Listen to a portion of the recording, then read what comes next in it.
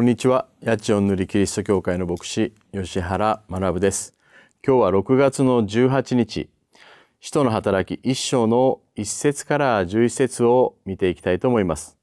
精霊に導かれる商人の人生というテーマですね。共に学びたいと思います。今日から新しく使徒の働きが始まっていきます。イエス様の商人となる生き方を共に学んでまいりましょう。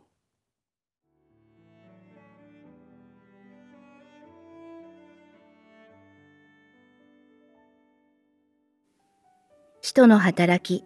一章一節から十一節テオフィロ様、私は前の書で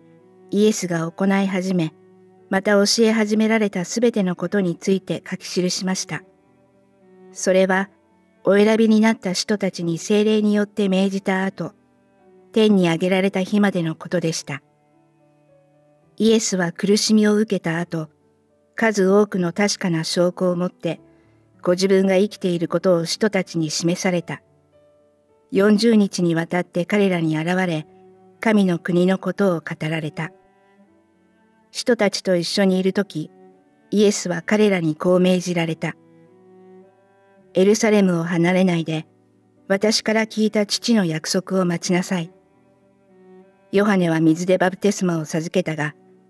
あなた方は間もなく精霊によるバプテスマを授けられるからです。そこで人たちは一緒に集まった時、イエスに尋ねた。主よ、イスラエルのために国を再興してくださるのはこの時なのですか？イエスは彼らに言われた。いつとか、どんな時とかいうことはあなた方の知るところではありません。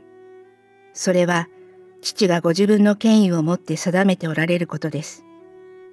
しかし、精霊があなた方の上に臨むとき、あなた方は力を受けます。そして、エルサレム、ユダヤとサマリアの全土、さらに地の果てまで私の証人となります。こう言ってからイエスは人たちが見ている間に挙げられた。そして雲がイエスを包み、彼らの目には見えなくなった。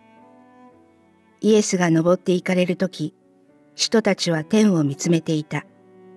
すると見よ、白い衣を着た二人の人が彼らのそばに立っていた。そしてこう言った。ガリラヤの人たち、どうして天を見上げて立っているのですか？あなた方を離れて天に上げられたこのイエスは、天に昇っていくのをあなた方が見たのと同じありさまで、またおいでになります。今日から始まるこの使徒の働きこの使徒行伝は別の言い方では精霊行伝とも言われる聖書であります。それは第一に一人の魂に精霊様が働いて救いがなされます。そして次に救われた者に使命をですね神様与えてくださってイエス・キリストを商人としてそこから福音宣教が始まっていくわけであります。そのすべての働きは聖霊様がなされるその見業であるということを私たちは見ることができます。使徒の働きは28章までですけれども私たち一人一人が使徒の29章聖霊様ともに記すイエス・キリストの証人となっていきたいと願います。それでは今日の本文の4節を共に見たいと思います。人たちと一緒にいるイエスは彼らにこう命じられた。エルサレムを離れないで私から聞いた父の約束を待ちなさい。エルサレムを離れないで父の約束を待ちなさい。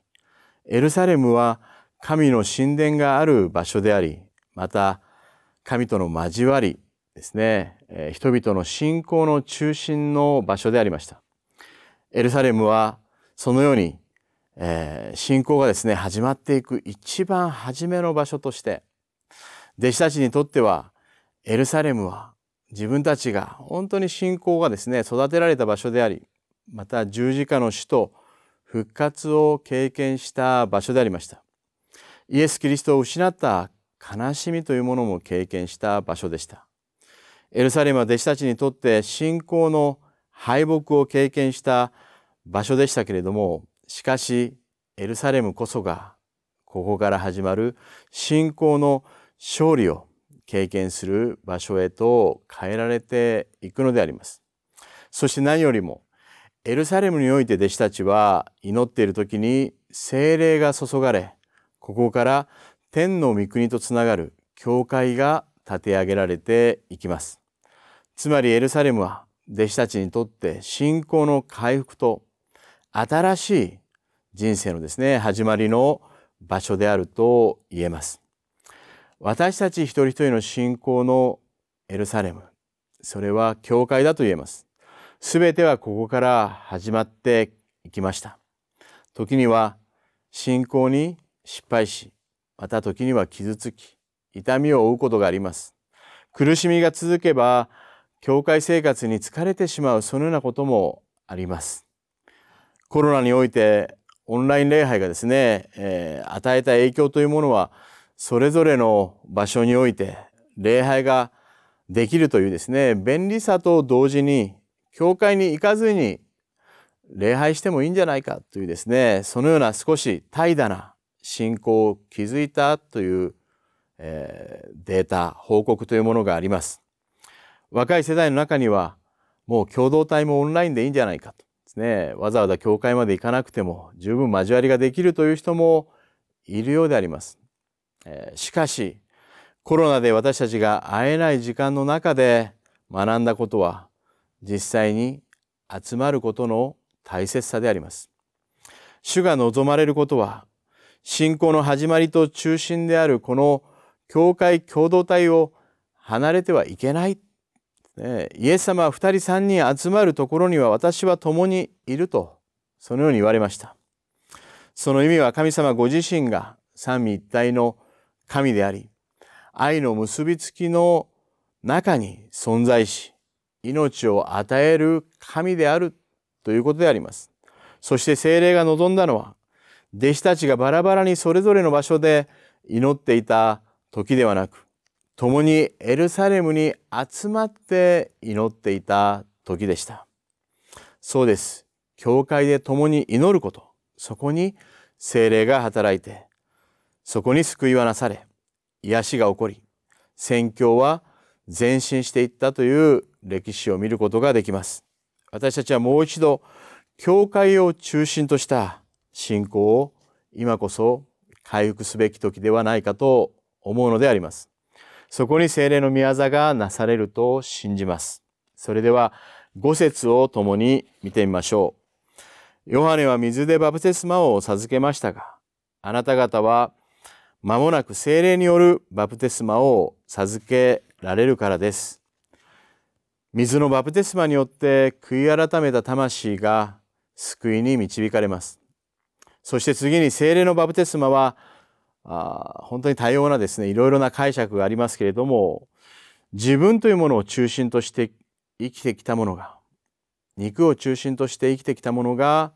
精霊様が主人となって精霊の導きに生きるものへと変えられていくという霊的な変革で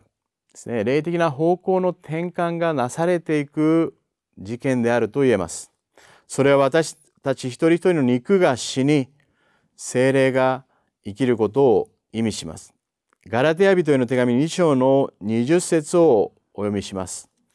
もはや私が生きるのではなく、キリストが私のうちに生きておられるのです。今私が肉において生きている命は私を愛し、私のためにご自身を与えてくださった神の御子に対する信仰によるのです。信仰の成熟とはそれまで自分の思いでそして自己中心的に生きてきたものがだんだんと精霊に導かれ満たされるものとなって私たちのうちにイエス・キリストの品性が現れることを意味します。精霊を受けた者は次にイエス・キリストを証しするものとなっていく。今日私たちが精霊に導かれるものとなって生きる時にイエス・キリストの栄光を表すものとなって商人としての生き方を今日一日を通して成し遂げることを主の皆によって祝福します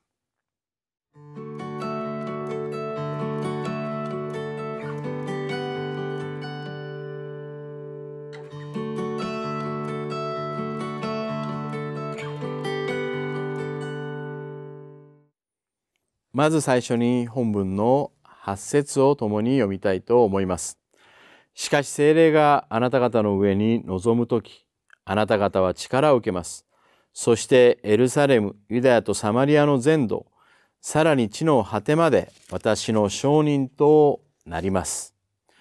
精霊様が私たちに与えられる目的は、私たち一人一人がイエス・キリストの証人となるためであるとあります。それは一つ目に私たちが精霊の人となって御霊の実を結ぶものとなっていくということを意味します。ガラテヤ人への手紙5章の24節25節をお読みします。キリストイエスにつく者は自分の肉を情欲や欲望とともに十字架につけたのです。私たちは御霊によって生きているのなら、御霊によって進もうではありませんか。